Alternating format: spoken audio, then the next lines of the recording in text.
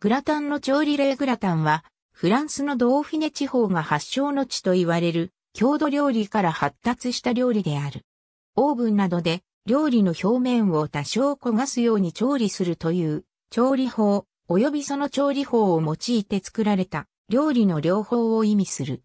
この調理法を用いたものはすべてグラタンであり、デザート用に作られるものなどもある。主にマカロニがベースとして入ることが多く、口実のドリアとは一線を画している。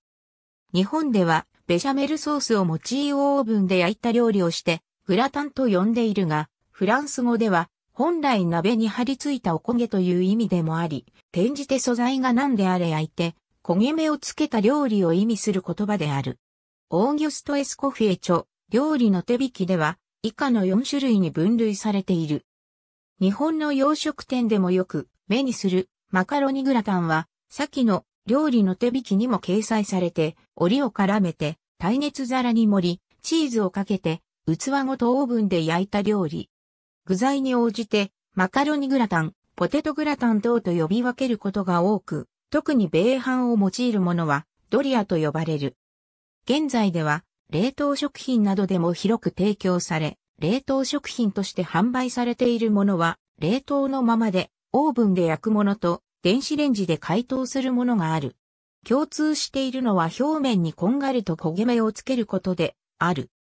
なお、構造的に加熱調理用の容器に盛る必要があり、オーブン用の製品ではアルミ箔製の耐熱皿を用いるが、これは電子レンジによる加熱ができず、逆に電子レンジ向け製品ではオーブン等の高温では焼けて悪臭を発するプラスチック皿が使われている場合があり、製品に合った加熱手段を選ぶ必要がある。